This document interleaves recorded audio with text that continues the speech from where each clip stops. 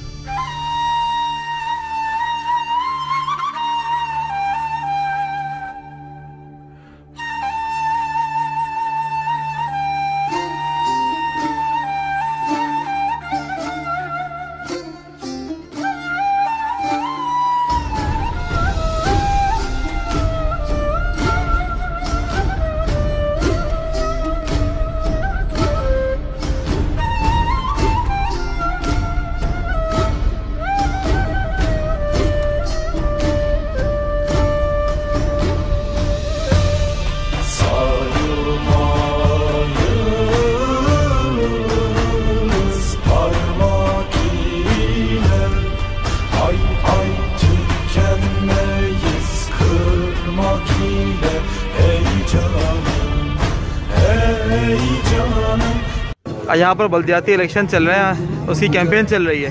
तो यहाँ पर कंटिन्यूसली देखें, यहाँ पर सियासी पार्टियों के स्टॉल्स लगे हुए हैं। वो चीज़ें बांट रहे हैं। एक सियासी पार्टी ने हरीम को और फौजान को फ्री मतलब अपनी कैंपेन की बुक्स दी हैं और वो कलरिंग बुक्स हैं। और यहाँ की जो भाईजान पार्टी है, वो ये रही, उर्दूगान की पार्टी। ये यहाँ की भाईजान पार्टी है।